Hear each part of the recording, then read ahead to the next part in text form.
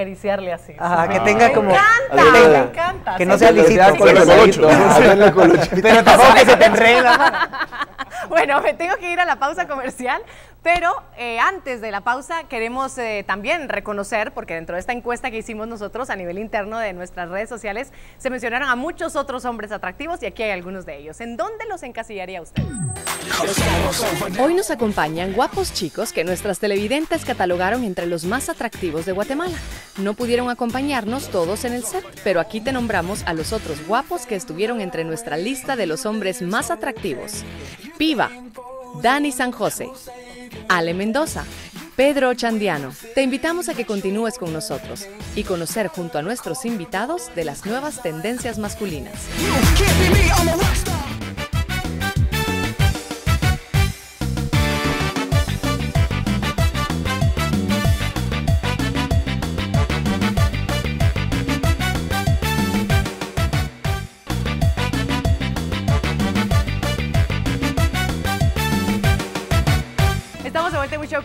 Gracias amigos por su sintonía. Tendencias masculinas le hemos titulado a este programa para investigar qué es lo que les, qué es lo que, a ver, les llama la atención a los hombres lucir, se identifican, mejor dicho, con algunas de esas tendencias, pero también qué es lo que a las chicas les gusta de estas tendencias, qué tipo de hombre es el que les gusta y por eso hicimos algunas encuestas en la calle. Vamos a hablar ahora de los lumbersexuales. ¿Qué son? Véalo a continuación. En el primer bloque hablamos de los retrosexuales. Ahora continuamos con los lumbersexuales. El término se refiere a una tendencia que rápidamente ha ganado aceptación y atrae a muchas mujeres. En sí, son tipos con barba, un tanto desaliñados, gozan de las comidas caseras y no llegan al extremo de una obsesión por exhibir un cuerpo tonificado o un cabello perfecto. Eligen lo natural por sobre todas las cosas y a veces tienen una apariencia ruda. Uno de los famosos reconocidos en esta categoría es Johnny Depp, quien destaca por dejar lo convencional. Su aspecto despreocupado es parte de su atractivo que lo hace el lumbersexual más sexy. Conozcamos algunas opiniones que tienen nuestros televidentes acerca de los hombres lumbersexuales. Bueno, platiquemos con los invitados que siguen con nosotros esta noche. Gracias chicos. por estar- ¿Se, se identifican gracias. con esto de alguna forma?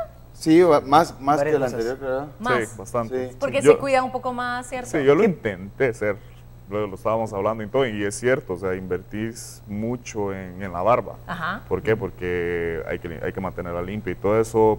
Incluso yo hacía mi, mi propio mi propia pasta para la barba. ¿Ah, sí? Sí, que usaba que aceite de, de coco y todo eso. Y hasta aceites esenciales, la combinación. Wow. ¿Y qué te desesperaste? Sí, por el calor de aquí Guatemala. Ahorita verano, o sea, todo el invierno lo aguanté, pero ahorita verano ya fue así como veneno. Dar en el puerto así ya, ya fue. Tú sí mucho. habías escuchado del término, ¿no? Sí, ya, incluso, sí, lo escuché hace como un año. Que tiene su, su encanto, ¿ah? Sí, tiene cosas que sí, cosas que no. Yo, la verdad es que siempre la gente me decía, vas a un lugar a cortarte la barba, ¿cómo le haces para tenerla así como recortadita siempre? sí. Ay, como que agarré práctica. Al principio no, pues todo empezamos haciendo unos chazos aquí, otros ya- este lado llega aquí, este lado hasta acá al principio, pero agarré práctica. Ahora pues ya debido a un patrocinio, pues trato de cortarme el pelo una vez a la semana, el pelo y la barba juntos, para tenerlo como, como, como siempre igual. Con el mismo número uno se va todo, ¿no? Con la, no, no, ahora se desvanece un poquito acá, Sí. viene como un poquito más, aparte que... No, tiene su me- ciencia, ¿ah? No es solo Sí, así de se sí, va la seguro. maquinita ya. Entonces ya no es como que esté tan al pendiente de eso, sino que ya sé que voy una vez a la semana y estoy tranquilo. Ok. Ay, seguro te preguntan Ah, si yo- te la pintas o algo, que Ajá, esa es la, me- la eh, típica pregunta. ¿Sabes qué? Pero, pero hay artistas que sí se la pintan. Sí, en los videos obvio. uno dice, ¿cómo hace para ver así? Y sí se la pintan, se la pintan de negro. De hecho, para el último video que yo grabé, me la pinté un poco. Ah, sí. No me la pinté, me la sombré. Sí, sí, sí, Para sí. que se viera así. Bueno, Porque que se yo vale. sabía que, Sí. que con azul muchas veces te hacen la sombrita así como de, de un par de días de, de, de no Es que, es que ves que uno tiene como a veces unos ojitos Ustedes- donde no, donde no salen, entonces con la son más que yo. Pero vos traes más el look. Ajá, sí. Botas, camisa se- de cuadros. Sí, camisa de todo, o sea. cuadros. Leñador. Ah. Sí, Exacto. tus botas. Sí, ¿verdad? Pedro, El de-. Pedro, constructor. No, yo solo agarro la máquina y me la paso así. y- Así, Y ya. Y ya. Y ya. No. Me, digamos, si ya se me pasó el tamaño. ¿Que cada cuánto vas a que te, a que te definan, digamos, Nunca. nunca? No, Pedro no. Ah, Pedro no va.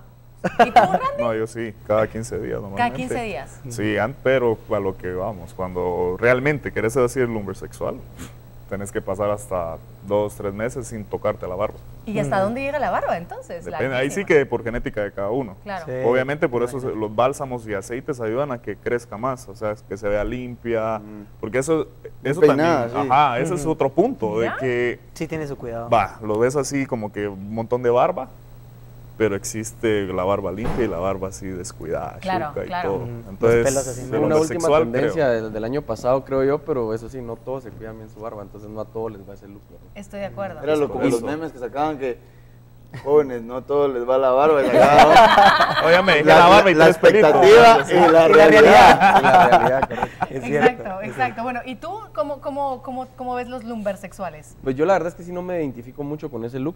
Eh, como todo, todos aspectos de los looks que estamos hablando, creo que siempre tenemos además de alguna cosita de cierto look, pero la verdad no me identifico mucho con él. ¿Te has dejado la barba larga? Eh, un poco, pero no, no tan como la, la usó Randy o este, el, Sí. ese look que se agarró ahora este del Tumen, que Sí, era sí, así sí, sí, demasiado sí. espesa. Sí.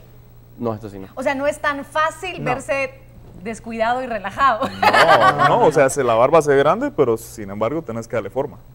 Interesante. Hay otro término, otra tendencia que salió creo que el año pasado, si no estoy mal, eh, y muy interesante. ¿Habían ustedes escuchado de los fofisanos? No, No. Yo no. Bueno, se los voy a presentar porque seguramente muchas tenemos fofisanos en casa. Caricatura el nombre. Nuestro siguiente tipo de hombre es el fofisano, el cual describe a un hombre que aunque hace ejercicio de vez en cuando, no se obsesiona con esculpir sus músculos en el gimnasio. Al contrario, lleva su pancita con orgullo. Salimos a la calle y preguntamos a las mujeres si les gustan los hombres con o sin pancita. Y esto fue lo que respondieron.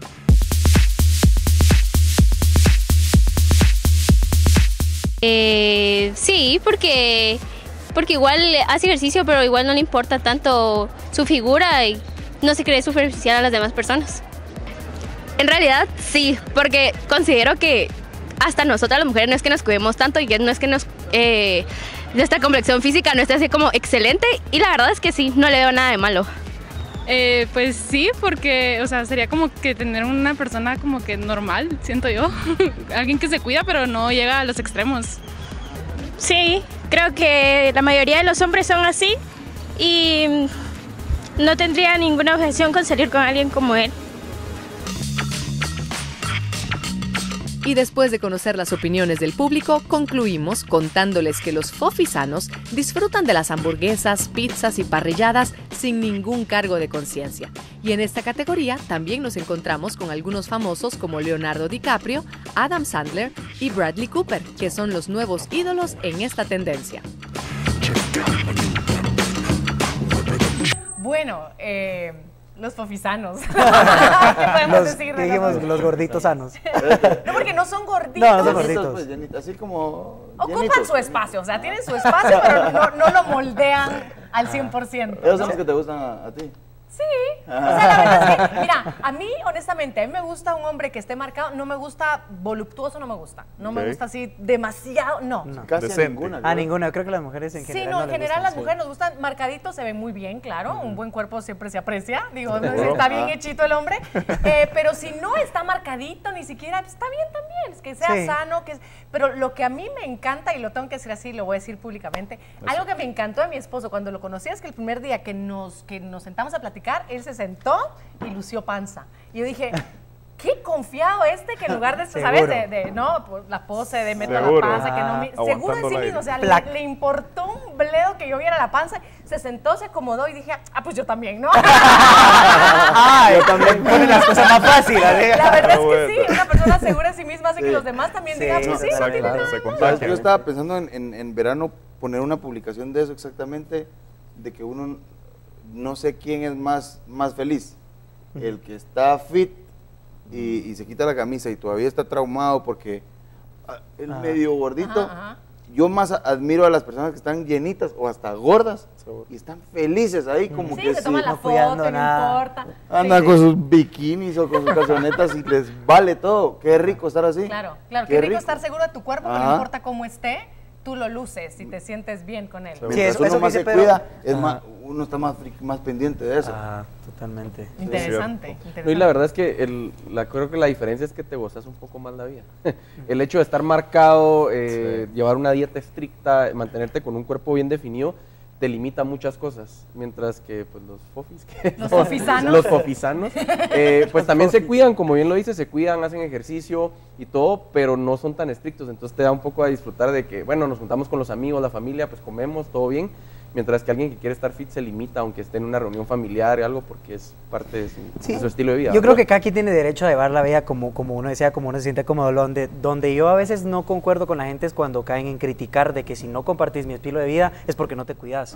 Eso siento donde hay gente que yo no, no, no es que me caigan mal, simplemente no lo comparto porque, como decimos, hay gente que no se cuida de estar tanto en el gym todos los días porque quiere estar fit, que lo viven bien, pero una persona que decide y toma la decisión de estar definitivamente cuidar su cuerpo todo el tiempo, diga que los demás están mal. Entonces yo- Claro. a eso es lo que, eso es lo que me ninguno de los que estamos aquí estamos así de... No, no, claro. Tampoco de... de- No, están de- guapos los pero cuatro, No, pero ¿ah? no fit a nivel... Es que hay gente que, vive cuesta, para eso, cuesta. pues yo creo sí, que sí. eso cuando lo haces parte de tu vida, porque, porque tenés que mantener, te tenés que mantener sano y todo el, todo el, todo el asunto, pero hay gente que vive para eso, o sea, hay gente que Seguro. se cena tres salmones, no sé, pues, o sea, que, que, que viven en Igual- competencia, que viven en, en todo este, en todo este ámbito que ya es como una ansiedad y, y- y Claro. algo que, que también es como una pasión. Por ejemplo, yo no podría vivir sin cantar, hay gente que no puede vivir sin estar en el gimnasio. Estoy pues. de Sí. acuerdo. Y, eh, y, lo, y lo interesante de eso y que quería preguntarles, porque justo me vino a la mente, ustedes trabajan luciéndose de alguna forma, ¿no?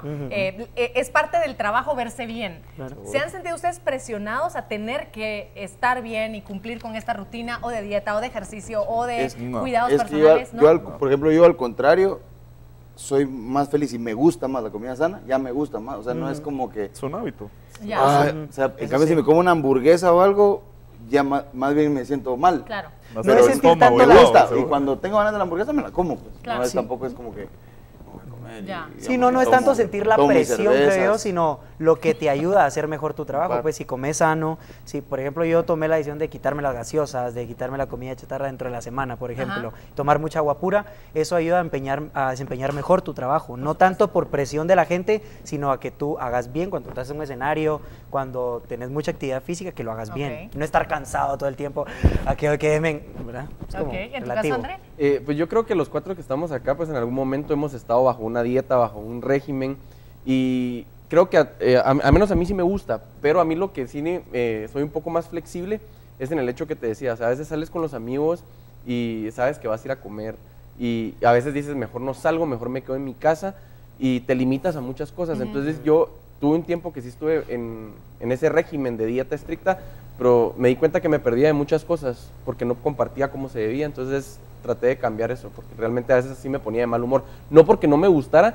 sino porque dejaba de hacer esas cosas. ¿verdad? Claro, claro. No, yo el año pasado sí lo hice.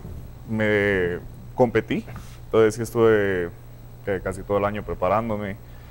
Y la verdad es muy cierto, o sea, yo salía con mis amigos y era como que todos comiendo una hamburguesa y uno Mm. solo viendo, ¿verdad? Y lo del mal humor, hasta eso, eso afecta la, la dieta por la falta de azúcar. Claro, claro. Entonces uno, te juro, ya deja de ser uno a veces. Obviamente ya llega un punto donde ya, ya te acoplas a eso. Mm. Ya no te hace falta. Yo no consumía azúcar durante seis meses y después ya no me hacía falta.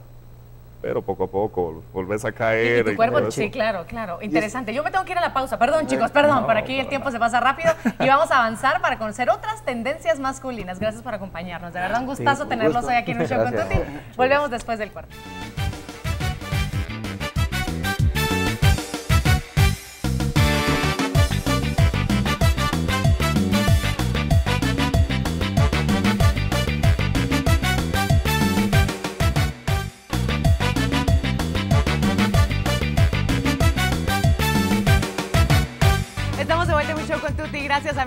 Sintonía. Tendencias masculinas. Una que se ha escuchado mucho más que estas otras que hemos platicado anteriormente es la de metrosexual. Vamos a ver de qué se trata.